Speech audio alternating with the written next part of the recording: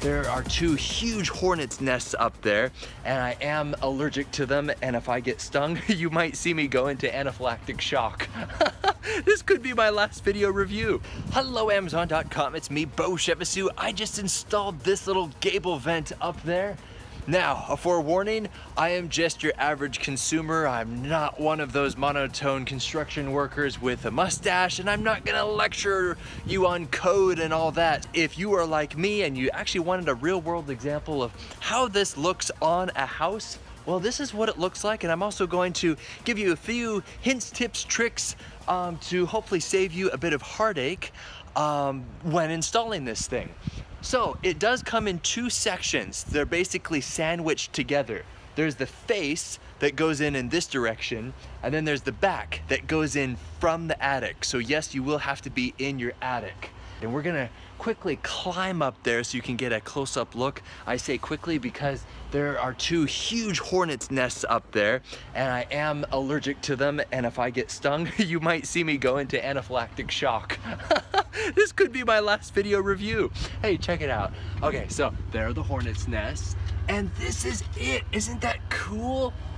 So the design of this thing is that it's impossible for rain to actually get in there because of the back. The back is basically the opposite of this.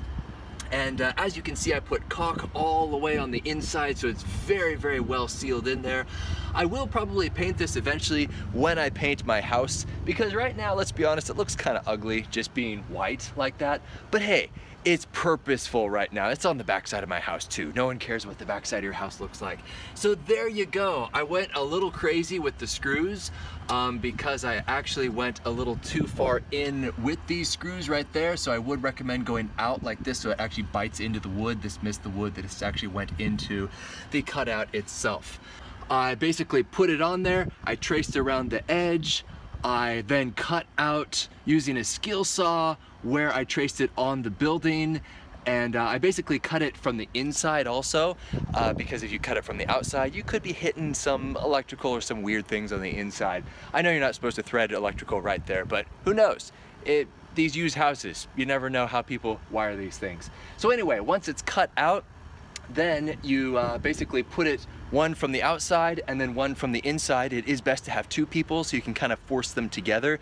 It's not possible to do this by yourself. You actually need something on the other side. Before you sandwich them in there, put some caulk all the way around the edges, a generous amount because this uh, right there, as you can see, the mountain, uh, wind comes whipping down off of that mountain. It just slams the side of this house. Uh, so I definitely needed some kind of weather resistant type uh, gable vent. And uh, yeah, it, it, it, looks pretty decent and it's, it's surprisingly big compared to some other people's around here.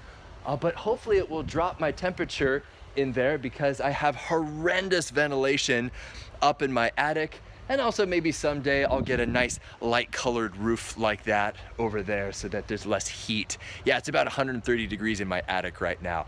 I know I got a long ways to go, but slowly but surely baby steps to mitigating all the temperature way up there so that that temperature isn't uh, affecting everything down below. But anyway, it's not about me and my situation, it's about you and whether or not this is helpful in determining whether or not this is the right gable vent for you. My name is Beau Chevassus. I look forward to testing, reviewing, and demonstrating more fun things here on Amazon.com.